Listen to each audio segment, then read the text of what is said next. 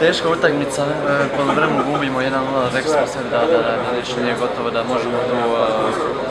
vratiti, pogotovo da pobjedimo. Vjerovali smo u sebe i to je se do- dokazalo na kraju da, se, da smo bolja reprezentacija i e, to nismo sumnjali nikad to, ali jednostavno nismo mogli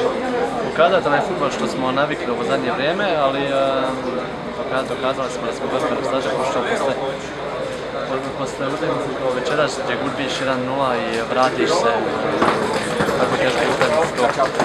to, to, ti dosta dokazuje da smo, da smo prava ekipa i još jednom trebamo se zahvaliti našim navijačima koji su, šta kažem, mislim nema je nigdje i im najviše.